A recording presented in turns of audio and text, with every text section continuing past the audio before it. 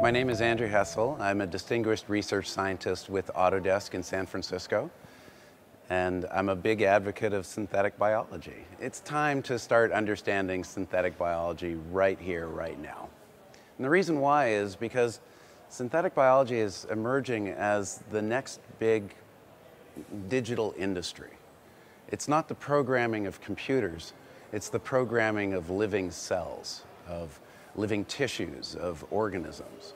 It's one of the most complex and data heavy enterprises we've ever embarked on as a species, and it will touch virtually every area of humanity, from health to manufacturing to environment.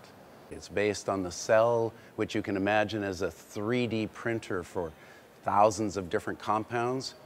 The most sophisticated 3D printer that's, that's, that we can imagine because not only can it make all these different compounds, it can make more of themselves. And it's all programmable using this incredible language we call DNA.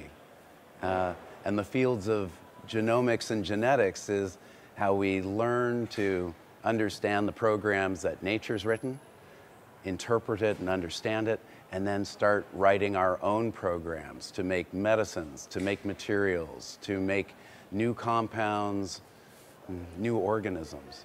And I think it's going to be one of the biggest industries in the world over the next few decades. We've seen computers do this over the last 40 or 50 years, moving from the first transistor to integrated circuits to essentially having a computer in everything. It's transformed societies, it's transformed economies.